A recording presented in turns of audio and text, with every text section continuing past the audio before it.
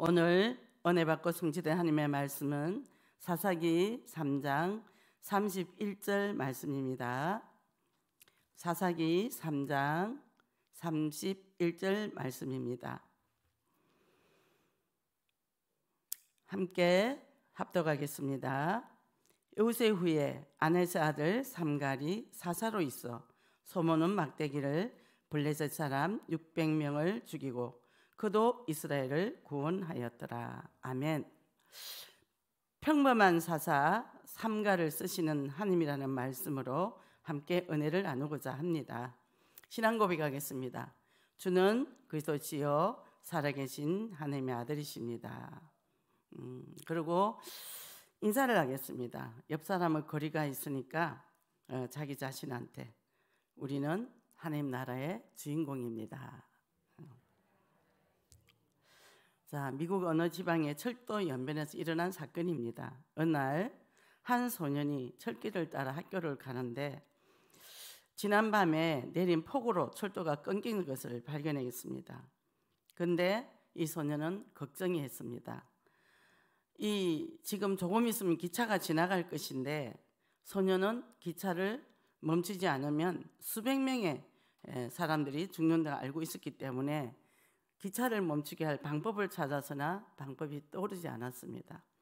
그래서 기차가 지나갈 시간은 점점 다가왔습니다. 그래서 소녀는 자기 위에 어, 셔츠를 벗었습니다. 그리고 책가방에 작은 칼을 꺼내서 자기 넙덕자를 찔러서 그 하얀 티셔츠에 자신의 피를 묻힙니다. 그러고는 그 피를 흘리면서 그 빨갛게 물든 셔츠를 흔들면서 기차가 오는 곳을 쪽으로 뛰어가서 흔듭니다. 그래서 스톱, 스톱, 스톱. 기차 서라고 외칩니다. 그때 기관사가 그 붉은 어, 깃발을 보고 기차를 멈췄습니다. 다행히 기차는 소년 앞에 멈출 수가 있었습니다. 그래서 기관사가 뛰어, 뛰어 내려와 봤습니다. 철도는 끊어져 있습니다. 기관사는 기차를 세우기 위해서 많은 피를 흘린 소년을 부축해 보았지만 이미 숨을 거뒀습니다. 기차가 갑자기 정지하자 어, 기관 기차 안에 있던 승객들이 이제 내려왔습니다. 그래서 그 소년을 부둥켜 안고 소년의 피로 우리가 살았구나 하면서 눈물을 흘렸습니다. 그때 기차 속에는 미국의 부통령이 타고 있었다고 합니다. 승객들은 그 자리에서 돈을 모아서 소년의 동상을 세우기로 했습니다. 근데 소년이 가지고 있던 책가방 속에 성경이 들어 있었습니다. 근데 그 성경 안에 말씀이 하나의 미리였습니다. 우리가 어, 사사기 이스라엘 백성이 어려움 당할 때 사사들이 일어나서 이스라엘을 지켰습니다. 그들도 역시 하나의 미랄이 되었다는 것입니다. 그래서 오늘도 우리가 사사기 3장 31절에 보면 세 번째 사사 삼갈에 대해서 한 줄 짤막하게 있습니다. 31절에 한 줄입니다. 근데 이스라엘은 이 사사기의 내용에 보면은 그 백성들이 타락하고 심판받고 부러짓고 또 구원 이 반복되는 패턴으로 우리의 삶과 비슷합니다. 재짓고 회개하고 반복해서 수많은 실수에도 하나님은 포기하지 않으시고 작정된 때에 이스라엘 백성을 위해서 구원자를 보내주신다는 것입니다. 삼갈은 이방인이었음에도 불구하고 하나님 앞에 사서로 쓰임 받았습니다. 에훗 후에 아나세 아들 삼갈이 사사가 되어 소모는 막대기만으로도 블레셋 사람들을 600명이나 죽이고 이스라엘을 구원합니다. 하나님의 사람은 여건이나 조건이 좋아야만 쓰임 받는 것이 아니라는 것입니다. 사무엘상 14장 45절에 보면요. 다윗이 골리앗과 싸울 때 블레셋 사람들 이르되 너는 칼과 상과 단창으로 내게 나오거니와 나는 만군의 여호와 이름 곧 내 모욕하는 이스라엘 군대 하나님의 이름으로 내게 나오노라 나아가노라 선포하며 물맷돌로 골리앗을 죽입니다. 우리의 약점이 있고 가질 것이 없어도 하나님이 우리와 함께 하시면 우리는 대적을 이길 수가 있다는 것입니다. 또 다른 사람도 살릴 수가 있다는 것입니다. 하나님은 그때나 지금이나 변함없이 살아계십니다. 여러분은 정말 그 힘으로 창세기 3장, 6장, 11장 세상에서 이름도 빛도 없이 뒤에서 묵묵히 사명을 감당하는 그런 어, 사사 삼갈처럼 우리가 오직 그리스도, 오직 하나라, 오직 성령 충만으로 원단 말씀 내 입을 크게 열라. 내가 채우려는 언약의 말씀을 굳게 잡고 이번 주 강단 말씀대로 그 낙의 주인과 같이 기쁨으로 순종과 또 기쁨으로 헌신하는 정말 그런 자가 되어서 생명 살리는데 도전하는 또 그 생명 살리는데 쓰임 받는 축복의 가정들이 되시기를 예수 그리스도 이름으로 축복합니다. 첫째 아나세 아들 삼갈입니다. 에우세 후에 아나세 아들 삼갈이 사사로 있어 이렇게 되어 있습니다. 에우세 후에 아나세 삼갈은 소 사사의 소 사사 작은 사사입니다. 중에 여섯 명 중에 첫 번째 사사입니다. 이 사사 삼갈이 블레셋의 침략을 물리치고 이스라엘을 구원한 사실을 이 나타내고 있는데요. 삼갈은 출신지와 또 활동 사항이나 시대적 배경에 대해서 전혀 알려진 게 없습니다. 그래서 삼갈은 수수께끼 같은 인물이라고 부르기도 합니다. 삼갈은 돌라, 야일, 입산, 엘론, 압동과 더불어 6인의 소사사라고 불리는 자입니다. 상갈에 대해서는 본절 외에서는 본절 외에 사사기 5장 6절에 여사사 드보라의 노래에서 한 번 더 언급될 뿐입니다. 그렇지만 그가 활동했던 시대 병에 대해서는 기록되지 않았기 때문에 단지 그가 에웃의 뒤를 이어서 사사로서 드보라의 활동하는 시기에 이미 알려져 있었다는 것입니다. 아나스의 아들 삼갈, 아낫이라는 이름은 가나안 땅의 제일 대표, 대표적인 이방 종교인 바알의 아내라는 겁니다. 전쟁의 신으로서 당시 가나안의 제일 소중하게 여기는 대표적인 신입니다. 바알 다음으로 이름이 있고 중요한 신이 아낫이라는 것입니다. 근데 삼갈의 아버지 이름이 아낫이고 상갈도 이방적인 이름이라는 것입니다. 어느 학자는 아낫이 바벨론식 이름과 유사하기 때문에 그가 이스라엘 사람이 아니라 이방 사람이었을 것이라고 주장도 합니다. 그러면 삼갈은 이방 종교를 믿는 부모에게서 태어났고 이방 신을 섬기다가 유아를 믿게 된 백성이라는 것입니다. 하나님은 이런 사람을 쓰셔서 언약 백성을 구원하시는데, 구원하시는데 소문은 막대기로 구원했습니다. 에우 당시 이스라엘은 80년 동안 태평했습니다. 근데 삼갈은 그 에웃이 죽고 난 후 두보라가 본격적으로 활동하기 전에 일시적인 혼란기, 즉 일부 블레셋인들을 이스라엘을 괴롭힐 때 잠시 사사로 활동했던 것으로 보고 있습니다. 블레셋은 이스라엘을 제일 괴롭히는 대적으로 사울 때 또 다윗 왕 때 싸웠던 핵심적인 외부 세력이라는 거죠. 그러다가 이들은 철제 무기를 가지고 있고 굉장히 강성한 나라였습니다. 그러나 상갈은 소모는 막대기로 블레셋 사람 600명을 죽입니다. 고린도서 1장 27절 28절에 보니까요. 하나님께서 세상에 미련한 자들 택하사 지혜 있는 자들을 부끄럽게 하시고 세상의 약한 것들을 택하사 강한 것들을 부끄럽게 하시며 하나님께서 세상에 천는 것들과 멸시받는 것들과 없는 것들을 택하사 있는 것들을 피하려 하시나니 하나님은 미련한 자를 지혜 있는 자들 자를 들어서 지혜 있는 자들 부끄럽게 하시고 약한 자들 택하사 강한 자들 부끄럽게 하십니다.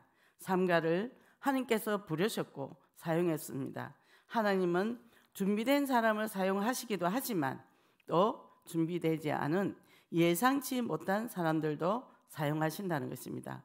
누구나 살아계신 하나님을 만나면 과거에 우리 부족한 그 한계를 극복하고 하나님 앞에 쓰임 받을 수 있다는 것입니다. 하나님 앞에는 조윤이 없습니다. 상갈은 단순히 한 줄로 표현된 인생이지만 하나님께서 귀하게 쓰임 받은 인생입니다.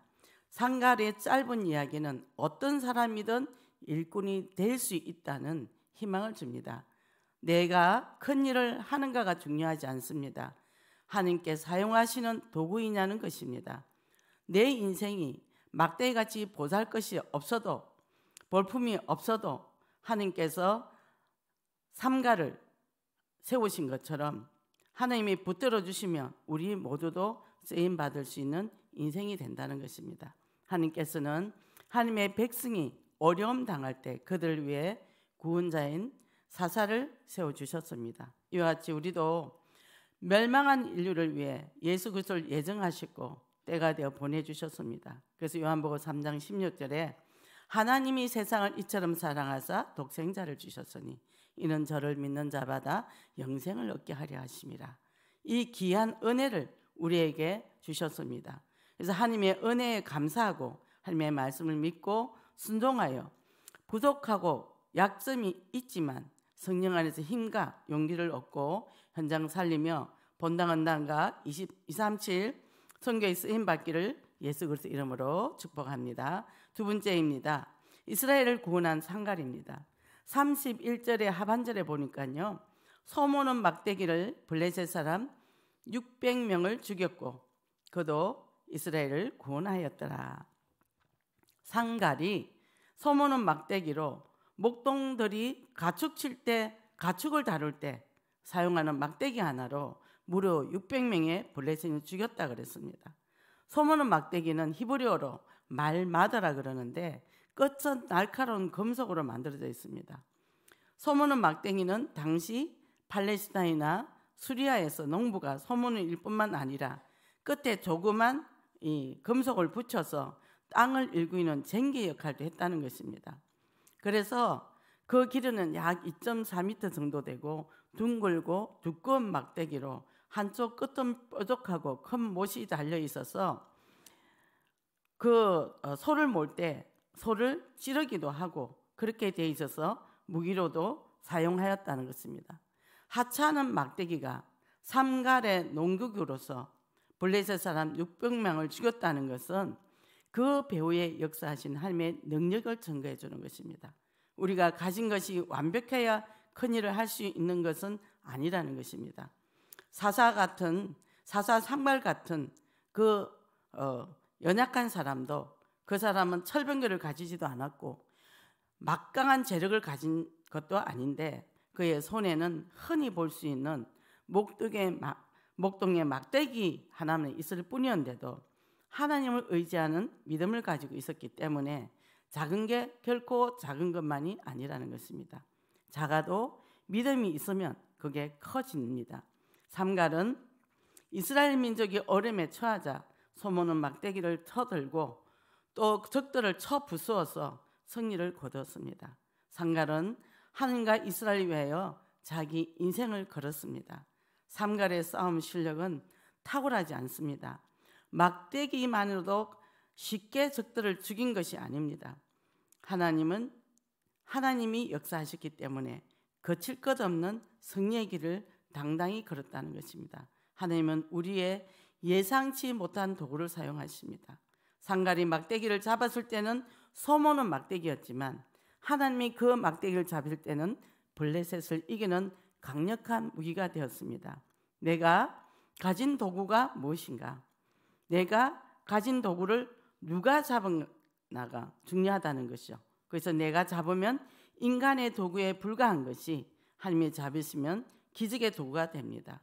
오늘 삼가를 통해서 내 인생에 소모는 막대기라도 하나님께서 붙잡으시면 반드시 역사를 일으킬 수 있다는 확신과 또 내게 허락하신 작은 것을 바라보는 눈이 열려야 될 것입니다. 모세가 지팡이 모세의 지팡이가 하나님의 손에 잡혔을 때 홍해를 갈랐습니다. 어린 다윗이 물맷돌 다섯 개가 하나님을 잡아 사용하시니까 골리앗을 쓰러뜨렸습니다. 내가 가진 것이 부족하지만 내 것이 어, 사용되게 해달라고 하나님 앞에 기도해야 됩니다. 이것이 지극히 작은 일이라도 하나님께 충성된 자는 주께서 기뻐하십니다. 내가 가진 것이 한 달란트 뿐이라도 주께 충성된 종이 되시기를 바랍니다. 그리고 삼갈은 담대했습니다. 삼갈과 싸우겠다고 했을 때 주변의 반응은 어땠을까요? 우리 주변에 뭐라고 그랬을까요? 너는 농부고 군인이다. 음. 누구 한 사람도 지지해주고 어, 또 어, 믿어주지도 않았습니다. 너는 군인이 아니야. 너는 군대도 없어.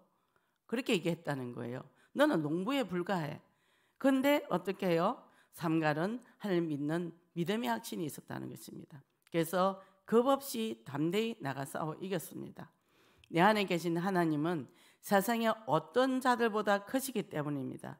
어린 목동 다윗도 블레셋의 강한 군사인 그인 골리앗을 물리칠 수 있었습니다. 중요한 것은 내가 하나님의 능력을 믿느냐는 것입니다. 그래서 고린도, 고린도후서 10장 4절에 보니까 우리의 싸우는 무기는 육신에 속한 것이 아니요 오직 견고한 진도 무너뜨리는 하나님의 능력이라.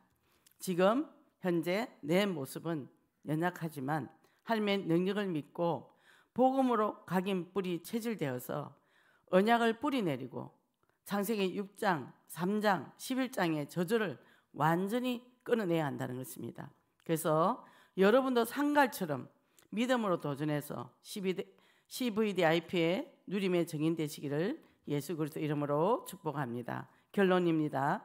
에웃은 싸움을 잘하는 장군이었습니다. 반면에 삼갈은 이방인이었고 집안도 별 볼 일 없고 농사밖에 없는 농부일 뿐이었습니다. 게다가 뒷받침해줄 군대도 없었습니다. 군인도 아니었습니다. 이 삼갈이 가진 것이라고는 소를 칠 때 사용하는 나무 막대기 하나가 전부였습니다. 아주 평범한 사람이었습니다. 그래서 4장 1절에 보면 에웃의 죽음에 대한 기록만이 남아 있는 것을 보면은 아마 삼갈은 에웃의 영광에 가려져 사람들에게 큰 주목도 받지 못했던 것입니다. 그러나 지극히 평범한 한 명이 소치는 막대기 하나로 600명의 블레셋 군사를 무찌르고 또 나라를 구했다는 것입니다. 오늘 본문을 통해서 우리 하나님이 우리에게 주시고자 하시는 말씀은 천국은 묵묵히 그리고 조용하게 사명을 감당하는 자를 통해서 확장된다는 이야기입니다. 하나님은 연약한 자를 들어서 강한 자를 부끄럽게 하십니다. 연약한 자라 할지라도 하나님께서 함께 하시면 강한 자를 능히 물리치게 하십니다. 이처럼 하나님은 세상에서 약한 자를 들어서 큰 일을 이루시는 것입니다. 그러므로 여러분은 스스로의 능력에 결핍을 바라보기보다는 큰 일을 이루시는 하나님을 바라보시기 바랍니다. 그래서 역대하 16장 9절에 보니까요. 여호와의 눈은 온 땅을 두루 감찰하사 전심으로 자격에 하는 자들을 위하여 능력을 베푸시나니 하나님은 두루 살펴보시면서 그 사람에게 능력 베푸시기를 위해서 온전히 하나님께 자신을 맡기는 사람을 찾으신다는 것입니다. 그래서 하나님께서 삼가를 찾아내셨습니다. 삼갈은 자기의 있는 모습 그대로 하나님 앞에 섰습니다. 블레셋 철병과 앞에 소문은 막대기 하나 들고 나아갔습니다. 그 모습 그대로 하나님 앞에 나아갈 때 하나님께서 하나님의 능력을 채우십니다. 그러므로 지금부터 그리스도 언약을 굳게 잡고 믿음의 증거를 가지고 축복의 발판으로 삼아서 미래에 대한 증거를 굳게 붙잡고 기쁨의 순종으로 생명을 살린 데 도전하시기를 바랍니다. 그래서 지극히 작은 일이라도 주께 충성해서 하늘의 미랄이 되어서 상갈처럼 하나님 앞에 영광 돌린 자가 되어서 영육간의 백배의 결실을 맺어서 본당한 당과 237 나라 선교의 축복을 누리시기를 예수 그리스도 이름으로 축원합니다.